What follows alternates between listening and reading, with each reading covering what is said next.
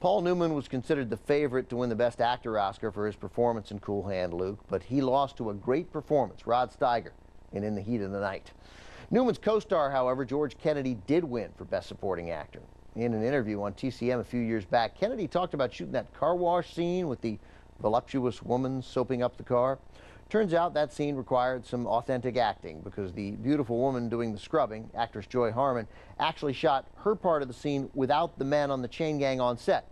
Then, on a completely different day, when director Stuart Rosenberg turned the camera around to shoot the reactions from the chain gang, scantily clad Joy Harmon, she was long gone.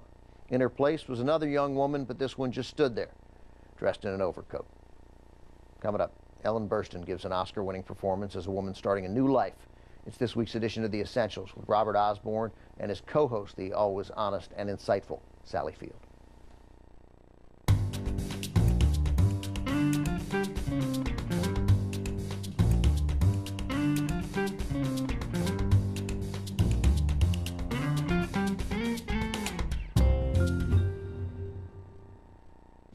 Turner